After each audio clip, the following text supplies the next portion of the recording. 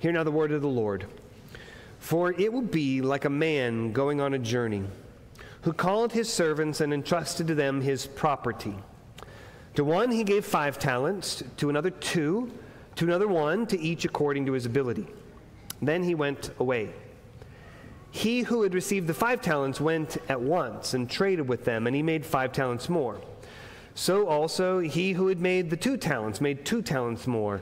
But he who had received the one talent went and dug in the ground and hid his master's money. Now, after a long time, the master of those servants came and settled accounts with them. And he who had received the five talents came forward, bringing five talents more, saying, Master, you delivered to me five talents. Here I have made five talents more. His master said to him, Well done, good and faithful servant. You've been faithful over a little, I will set you over much. Enter into the joy of your master. And he also, who had the two talents, came forward, saying, Master, you delivered to me two talents. Here I have made two talents more. His master said to him, Well done, good and faithful servant. You have been faithful over a little, I will set you over much. Enter into the joy of your master. He also, who had received the one talent, came forward, saying, Master, I knew you to be a hard man, reaping where you did not sow, and gathering where you scattered no seed. So I was afraid, and I went and hid your talent in the ground. Here you have what is yours. But his master answered him, You wicked and slothful servant. You knew that I reap where I have not sown and gather where I scattered no seed? Then you ought to have invested my money with the baker, bankers, and at my coming I should have received what was my own with interest. So take the talent from him and give it to him who has the ten talents. For to everyone who has will more be given, and he will have an abundance. But from the one who has not, even what he, he has will be taken away. And cast the worthless servant into the outer darkness. In that place there will be weeping and gnashing of teeth. The grass withers, the flower fades, but the word of our God endures forever. Um, we are now currently less than three weeks away from my favorite holiday of the whole year, from Thanksgiving. Um, Thanksgiving for me is filled with a lot of very special memories, especially about uh, family and especially some of the, the times I got to spend with my grandparents before they passed away. Um, I love the whole menu of Thanksgiving. I could eat it all year round, um, uh, but wisely probably limit it to one day a year. Um, and just really good fellowship, uh, really good conversations. I think about a lot of times I've spent playing games over those times. Um, a lot of really wonderful memories associated for me with Thanksgiving, and so I, I just absolutely love it. But Thanksgiving is a holiday that I think more than most requires a significant amount of, of preparation. Now, practically, a lot of that preparation centers on preparing all of the food. Uh, there's a lot of planning, a lot of preparation. Um, in my family, there's a, there's a sort of a schedule of when the oven is going to be in use on the day of and planning it. Now, I, I am not a, a great cook. I do not enter much into that. It would spoil the holiday in many ways if I were cooking too much of this food. However, I do have every year a cranberry jello salad that's been in my family for six generations, including my children. And uh, while not everyone loves it, some do, and so I make it because I love it especially. So it's a time of preparing food, a lot of practical preparations in that way. But it's also kind of a special time nearly at the end of the year. It's, it's not the time where you start looking forward so much, where you start planning your New Year's resolutions and things like that. But at the end of the year, it's, it's, it's, a special time to really think back on what blessings the Lord has given over this past year. I mean, indeed, the, the timing of Thanksgiving was historically calculated to, to fall right after harvest time, to remember the great abundance that, that God had, had given to his people. Once again, God provided food for his people to eat and to celebrate that and to take time to give thanks for that. It's not just about stuffing your face, it is really about a preparation of your heart, a personal preparation, a, a preparation of the posture of your attitude and disposition about life, and particularly toward the Lord and the blessings that He has given to us. You do make a lot of food, but you also need to reflect on the Lord's goodness toward you.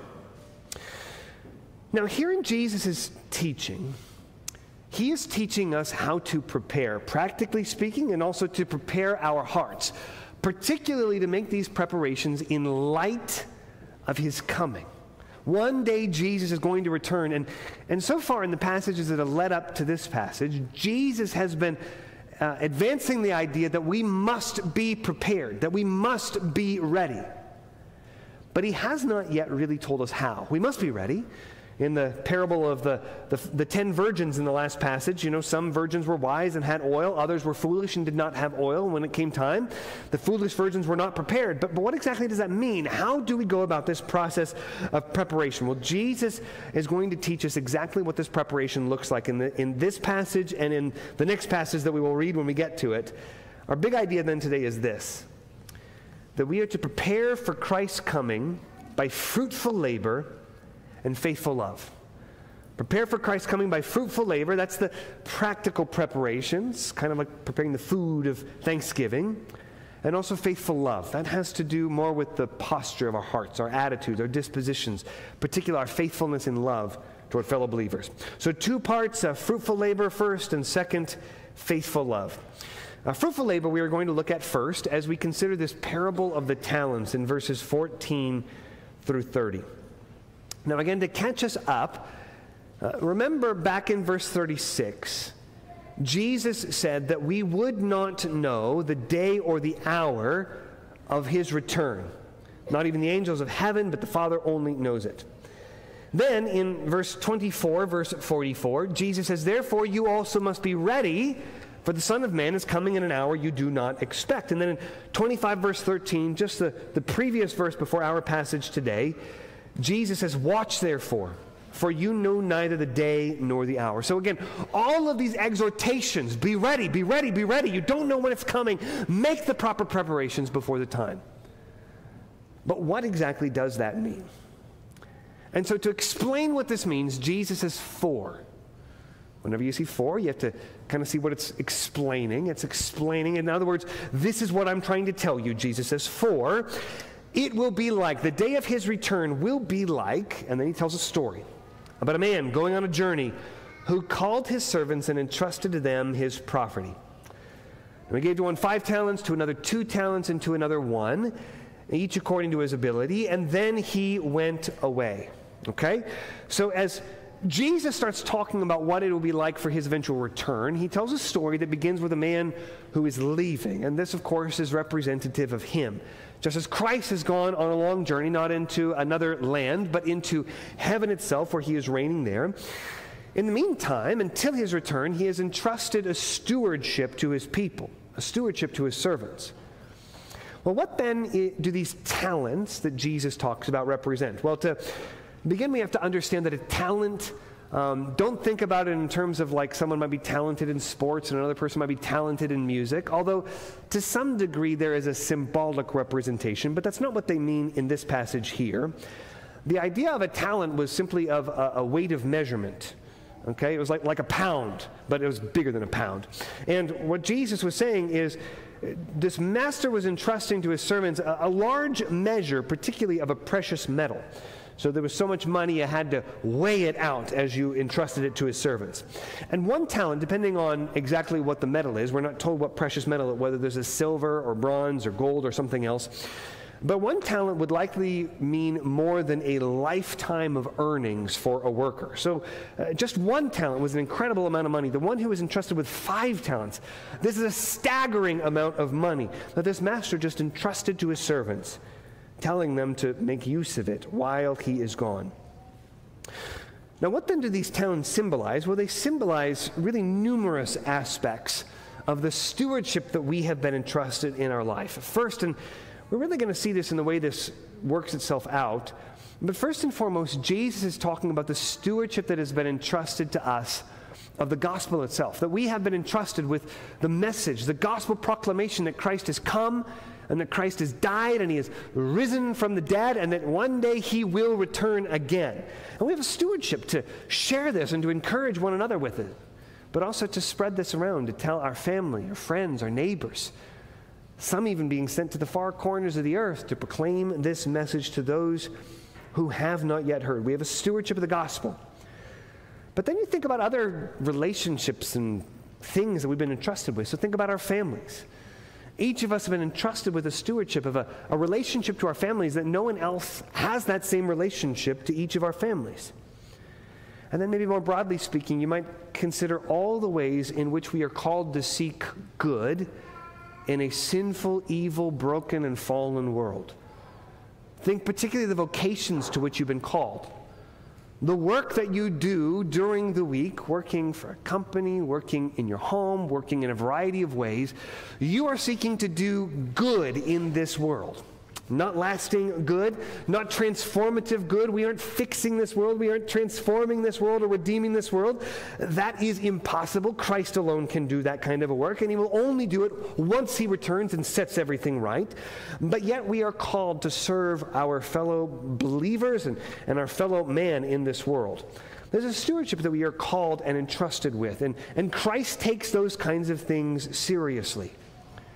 And notice then that of the talents, of the resources and relationships that would have been entrusted to us, we've all been given different amounts, symbolized by someone who having five talents, some, uh, someone else who has two talents, and someone who has one talent.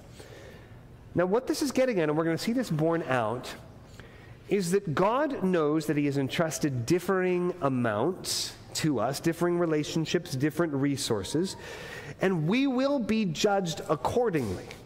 We will not be judged according to what someone else has been entrusted, but to what God has entrusted to each one of us. However, all of us alike, even though we've been entrusted with differing levels of resources and relationships, all of us alike are required to be faithful with whatever has been entrusted to us. And so you see this symbolized immediately in the actions of those who have been entrusted both five talents and two talents.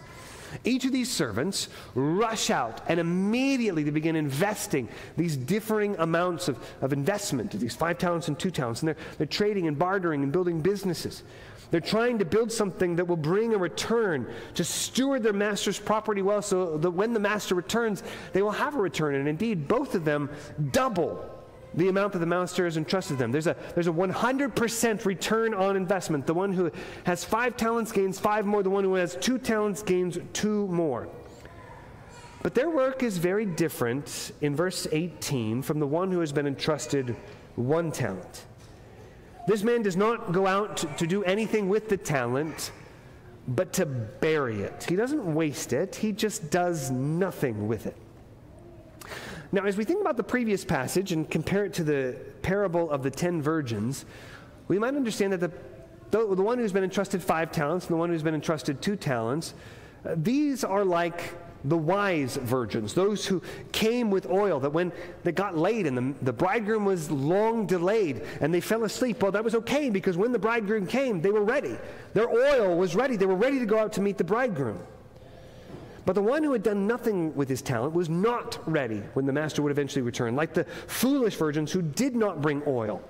So that when the bridegroom arrived, they had to go and buy it. And when they were able to buy it, and the time came for them to finally arrive at the party, it was too late, and they were shut out of it. And the Lord of the, the bridegroom said, I never knew you.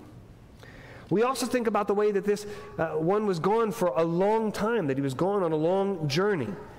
After a long time, he returned, and it was a very long time. And, and we think about how the bridegroom was delayed. There's a lot of parallels between these two talents. But after this long time, in verse 19, when the master arrived, then he called his servants and settled accounts with them. And the one who had been entrusted five talents and the one who had been entrusted two talents, like the wise virgins, are ready to present their earnings. Now, it's fascinating as we look at the master's response. It's the same to both of them. And, and, and there is an inequality in what they return because the one who'd been entrusted five has five to present to their master, five more. And the one who'd been entrusted two has only two to present more. But the master recognizes that even though they have unequal returns, the rate of return was the same for both. Both of them had been very, very diligent and faithful. They were entrusted with unequal amounts, and yet they had an equal return in terms of the rate of their return 100% returns. And the master is so proud of them. There's three parts to his response. He, he praises them. He says, Well done, good and faithful servant.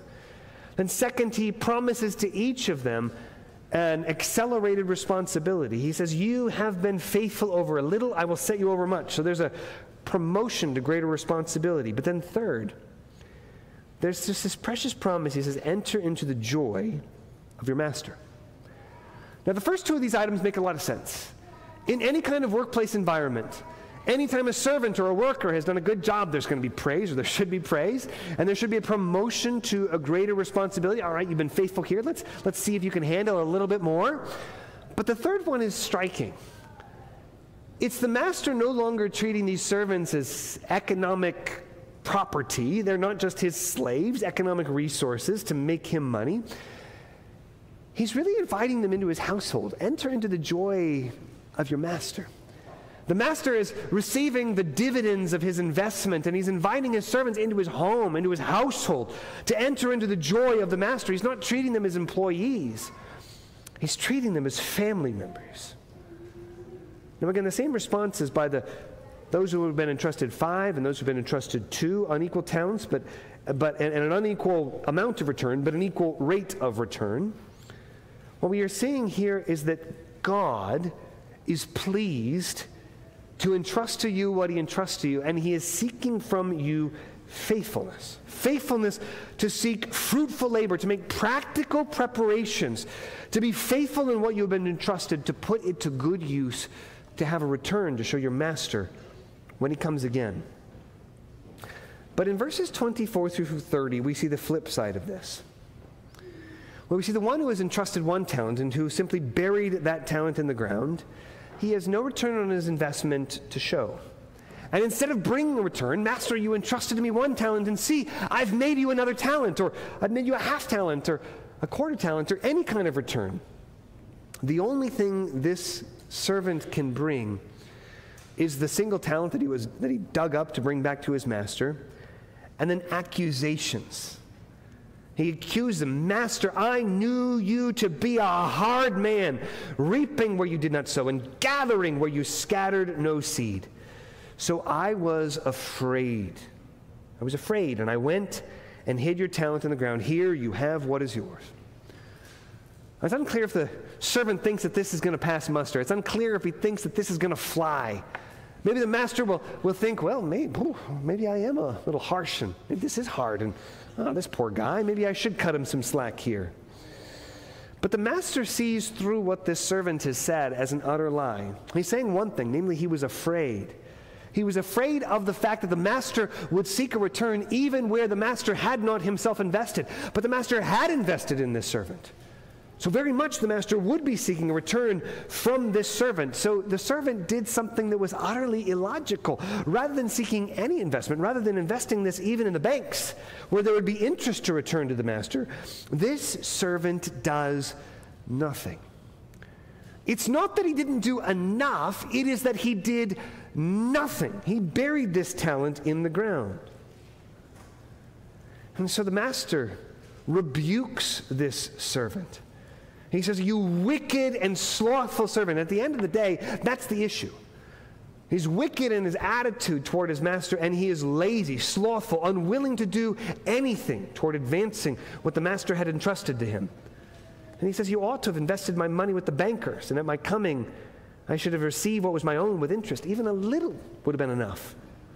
But you gave nothing. And so in verse 28, the master says, Take the talent from him and give it to him who has the ten talents. For to everyone who has will more be given, and he will have an abundance. But from the one who has not, even what we has will be taken away. In other words, again, it's not a matter of doing enough to please God. What Jesus is saying is for those who are faithful in their preparations for the Master, whatever you have, God will so much more graciously, abundantly reward you beyond your wildest dreams.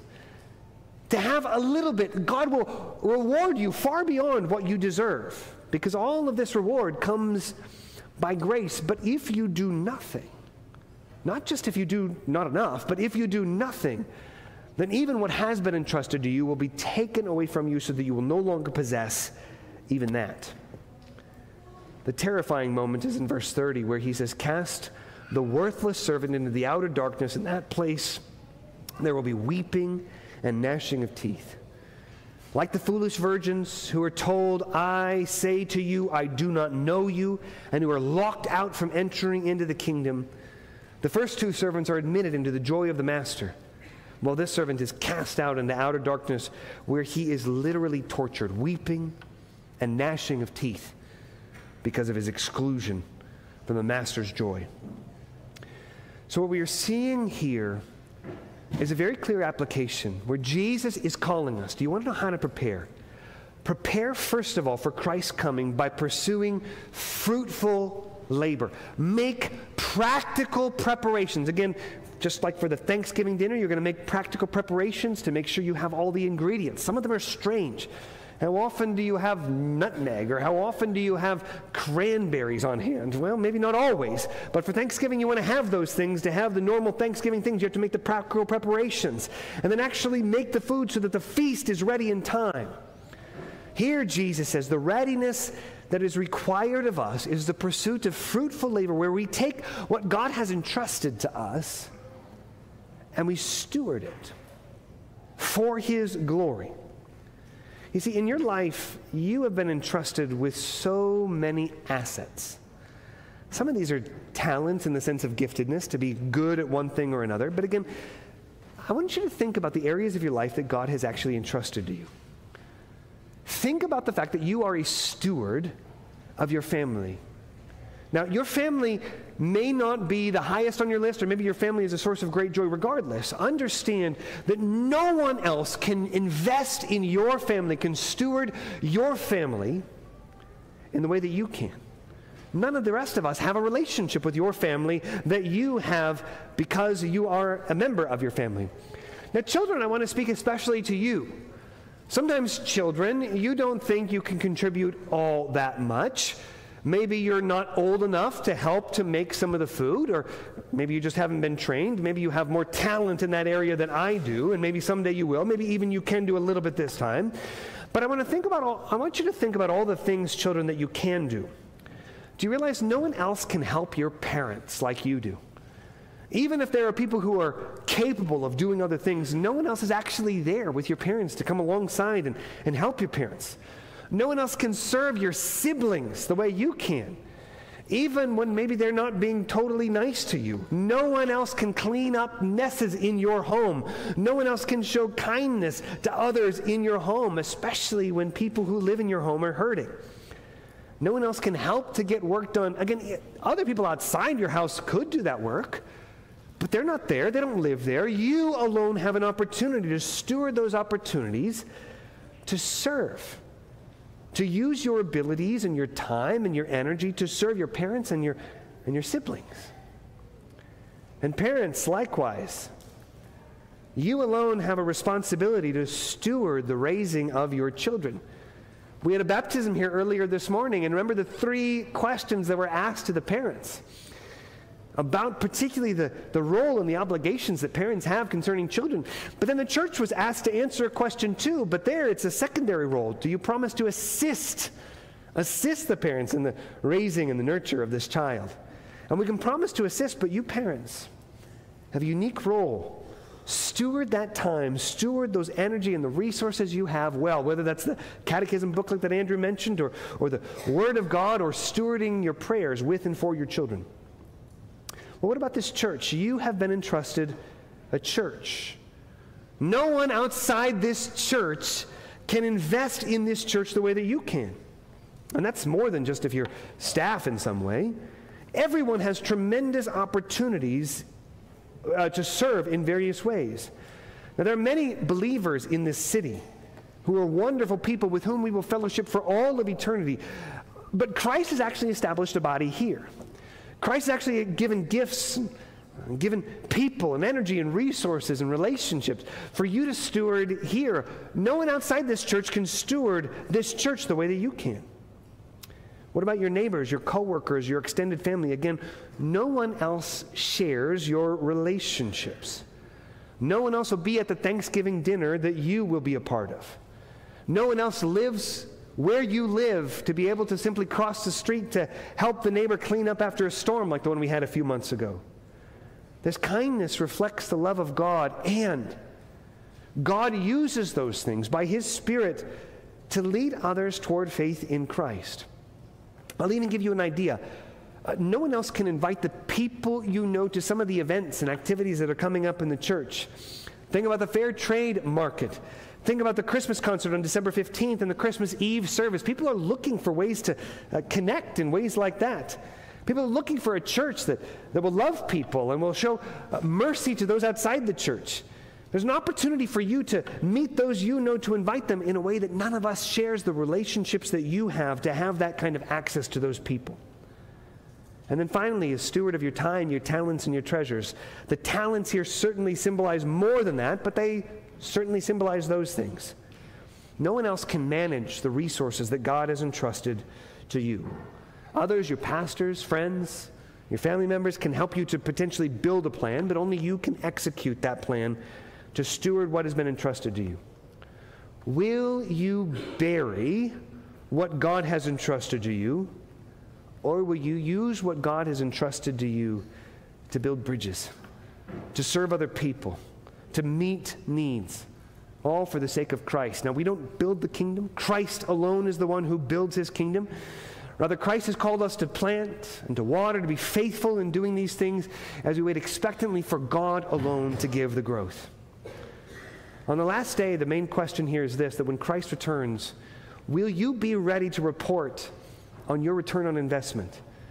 And indeed, if you've been investing in ways that maybe you haven't seen, will you be prepared for God to show you how far that investment has gone in ways that you are unaware of in this life?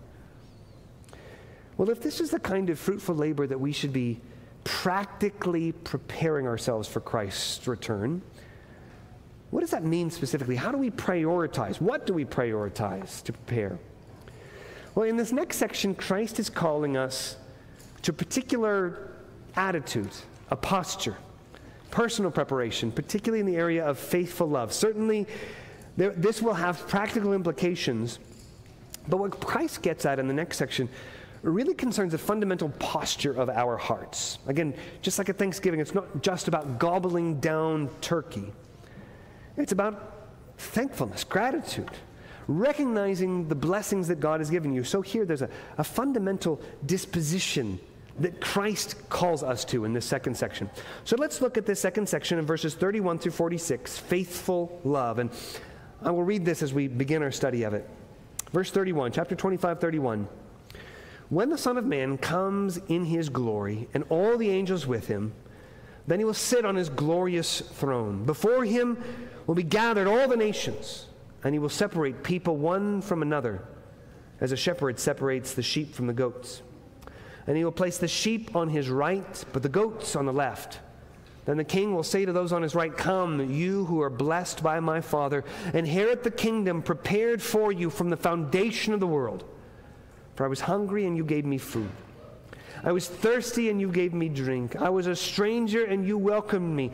I was naked and you clothed me. I was sick and you visited me. I was in prison, and you came to me. And the righteous will answer him, saying, Lord, when did we see you hungry and feed you, or thirsty and give you drink? And when did we see you a stranger and welcome you, or naked and clothe you? And when did we see you sick or in prison and visit you? And the king will answer them, Truly I say to you, as you did it to one of the least of these my brothers, you did it to me. Then he will say to those on his left, Depart from me, you cursed, into the eternal fire prepared for the devil and his angels. For I was hungry, and you gave me no food. I was thirsty, and you gave me no drink. I was a stranger, and you did not welcome me. Naked, and you did not clothe me. Sick and in prison, and you did not visit me. Then they also will answer, saying, Lord, when did we see you hungry, or thirsty, or a stranger, or naked, or sick, or in prison, and did not minister to you? Then he will answer them, saying, Truly I say to you, as you did not do it to one of the least of these, you also did not do it to me. And these will go away into eternal punishment, but the righteous into eternal life.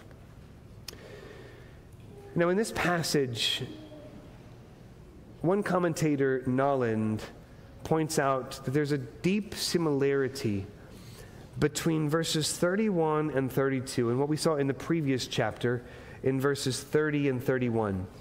Uh, look back at Matthew chapter 30, 24, verses 30 through 31.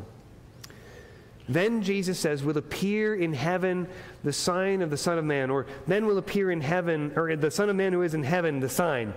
And then all the tribes of the earth will mourn, and they will see the Son of Man coming on the clouds of heaven with great power and great glory. And he will send out his angels with a loud trumpet call, and they will gather his elect from the four winds, from one end of heaven to the other. Now, a couple weeks ago, I argued that this is not talking about Christ's final return. You can listen to that sermon uh, where I argue that. But rather, this is about the coming of the Son of Man, the enthroning of the Son of Man, the exaltation of the Son of Man, where he is uh, ascended into heaven and is seated and enthroned at the right hand of his Father. And from there, he sends out his ministers, his angels, symbolically leading forth the gospel as though with the blast of a trumpet, where they're gathering together his people from the four winds, from the four corners of the earth. Well, now look at the similarity here in chapter 25, verses 31 and 32. When the Son of Man comes in his glory, this is about the final return, the final coming of the Son of Man.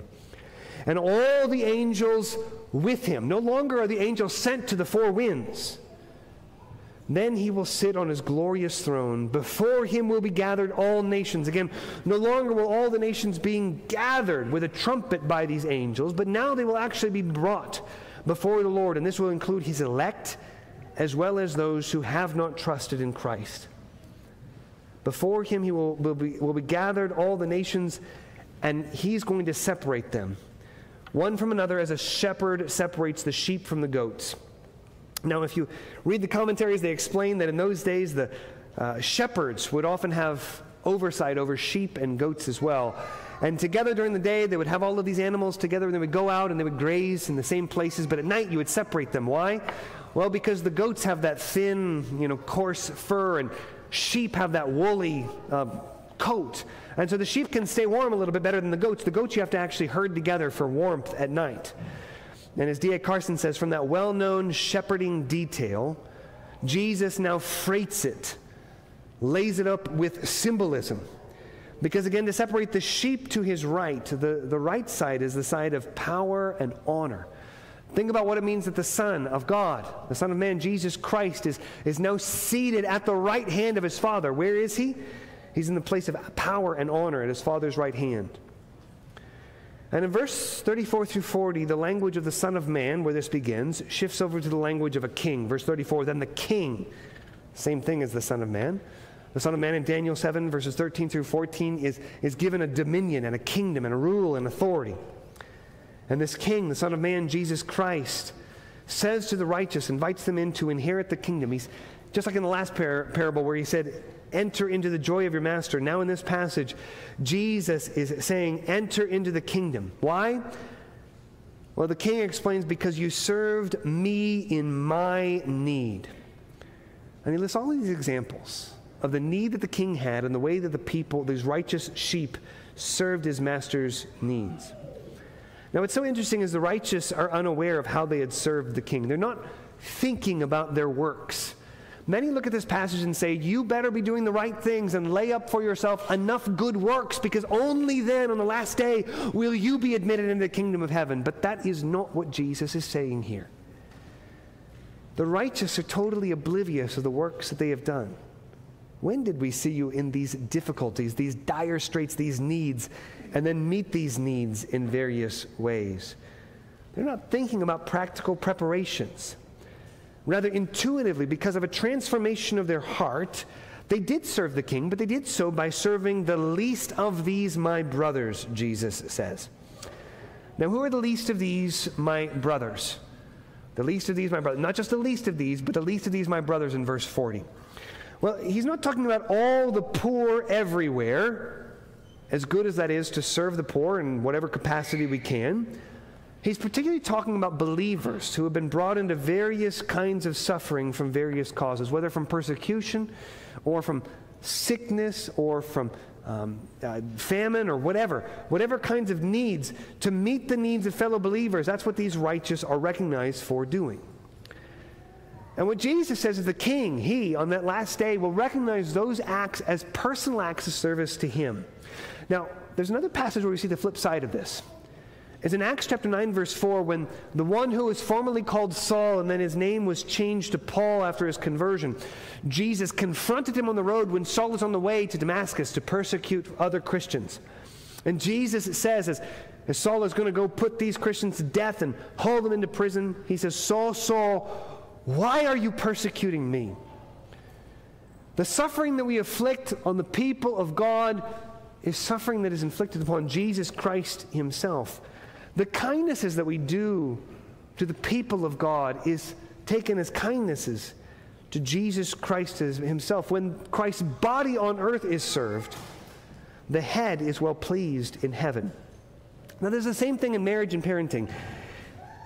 If you, when you have served my family, you know, I look even in ways that don't directly affect me or help me.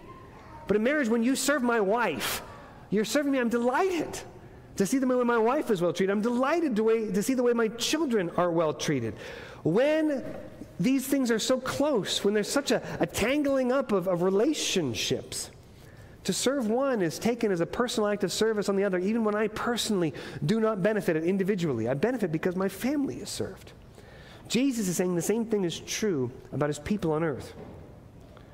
But on the other hand, in verses 41 through 46, Jesus declares to those on the left, the goats, Depart from me, you who are cursed, into the eternal fire prepared for the devil and his angels. And the reason he gives is that they did not serve the king in the way the righteous had. Now, again, they also didn't recognize when were you in need? When were you in need in these ways and we did not serve you? The difference is, and again, Jesus says, What you did not do to the least of these, you did not do to me. So, what's the difference? Well, the difference is that the righteous, the sheep on the right, were transformed, had been transformed, so this was unthinking, it was intuitive, to love what the king loves, namely to love the people of the king. But in this case, the goats on the left, their hearts had not been regenerated. The world hates the people of God. The world hates the church. Those who have not been transformed by the gospel do not love what the king loves.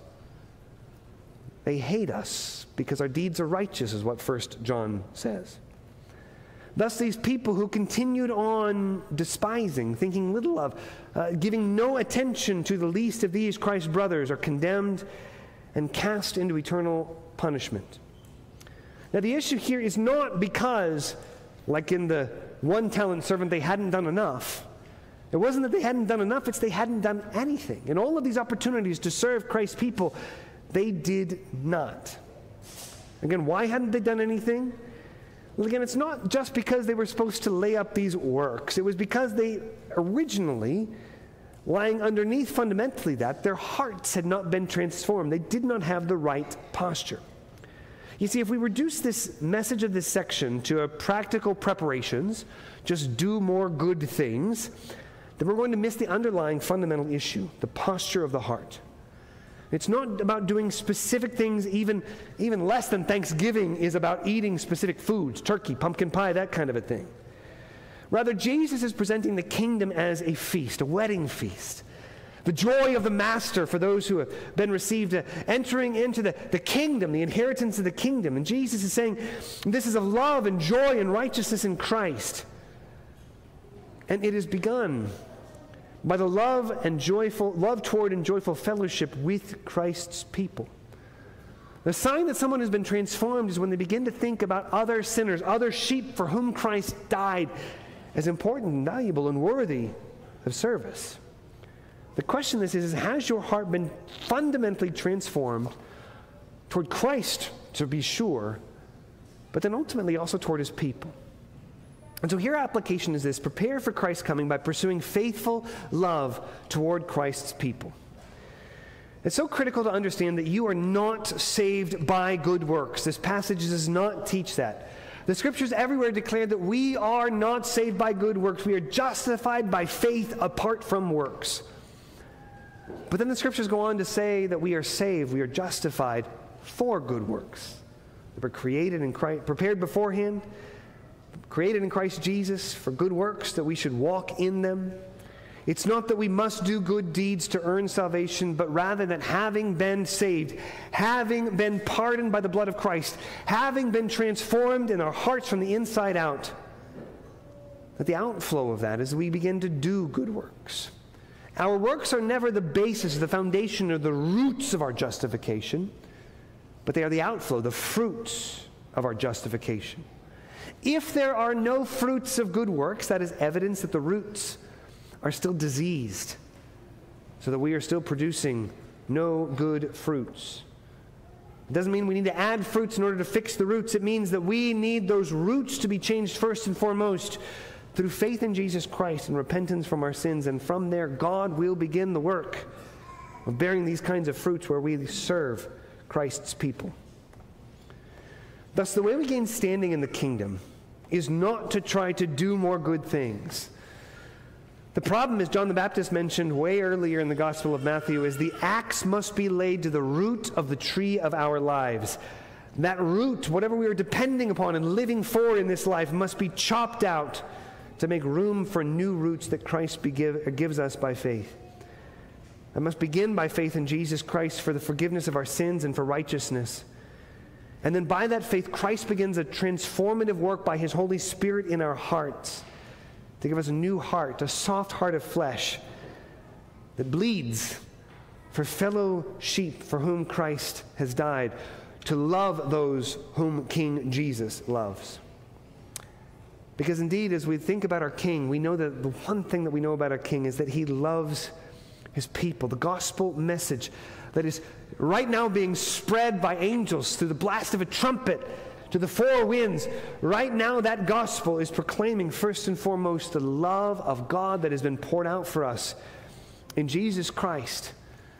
The love of Christ, our King, tells us that this King of heaven, the eternal Son of God, he emptied himself of his blessedness, joy, and glory and majesty, not by getting rid of those things but rather by taking the form of a servant where he veiled those things, where he did not make use of them, where he did not count as the bliss that he had in the form of God as a thing to be clung to.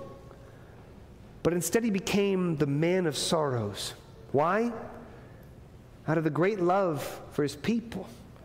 Those upon whom he had set his love from before the foundations of the earth had been laid in eternity past where a plan was established where the eternal Son of God would enter into this world and, and suffer in so many ways, leading up to the extreme humiliation and suffering at the cross, where this King of heaven traded joy for sorrow, where he traded praise for condemnation, where he traded glory for shame, where he traded bliss for torture, where he traded blessedness for wrath. And he did this out of love for you, his people. Has this gospel message blasted like a trumpet into your heart? Has it penetrated your soul so that the love of God is poured out for you by the Holy Spirit? Is that love filling you up to the overflowing where it begins to spill out in the love of God for his people to train you to love those whom Jesus also loves? Has it prepared you not only in practical, fruitful works, but also in faithful love for his people? If so, how does that spill out? And I want to give you just a couple of ways that you can think of in the church to serve other people. The first one is the fair trade market that's coming up. We see this as a critical aspect of loving the least of these, many of whom do not live here, most of whom, the vast majority of whom do not live here. People who are suffering from various things, some of them from persecution, some of them from human trafficking. In a number of ways, they have been in hard times.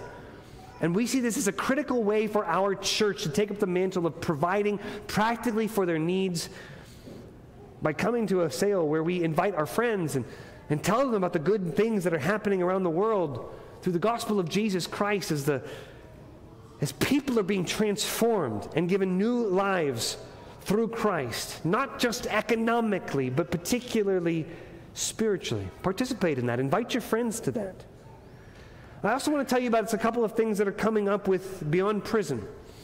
Again, Jesus talks about visiting those in prison. We have partnered with a ministry beyond prison where we are seeking to minister to those who are families who have loved ones who are incarcerated. And we're coming into Christmas, and we've had a couple of events here, but this Christmas one, again, last I heard a week ago, maybe more are, are signed up now, but 30 children were signed up. What an opportunity to come to this event and to minister to these children and to build bridges into these families. We're also going to be bringing in a giving tree, um, a Christmas tree that's going to be filled with the names of real children who are affected by these difficult things. I don't know whether all of these know Jesus, but there are going to be ways to pray for them, potential gifts that you can purchase for them. And I want to ask you to consider doing that, to pray for these children. Pray specifically that your stewardship of the gospel would go to these children, for them to not only have a Christmas gift this December, but to receive the inheritance of the kingdom through faith in Jesus Christ. Would you give? Would you donate? Would you volunteer to come serve these families? Right now, there are many opportunities to do these kinds of things when your heart is fundamentally transformed by this faithful love of God in Christ poured out into us by the Holy Spirit, spilling out of our lives to love the least of these Christ's brothers. Pray for the ways in which God might be calling you to serve, to pursue those needs. Whether in these formal ways that we've established as a whole church, or whether in the private ways, in the relationships that God has given you to steward that none of us share. How then are you preparing for the coming of Christ? Remember what Jesus says in the previous passage, Matthew 25, verse 13 Watch therefore, for you know neither the day nor the hour. Prepare. Let's pray. Heavenly Father, we do pray that Christ would be glorified in our midst, that you would transform our hearts, that we would be known as a people who love one another, and that that love would not transform other people as they look to see what great people we are, but as they see the greatness of our God who is at work in our midst. And we pray that the Holy Spirit would be powerful, powerful to transform us and to draw your people, the sheep who are not yet brought into a pasture under a shepherd yet, that you would draw them into your church, not just to become a member of an organization but through faith in Jesus Christ to renew them from the inside out. We pray that you would do this for the glory of Christ and the good of your people. It's in Christ's name we pray. Amen.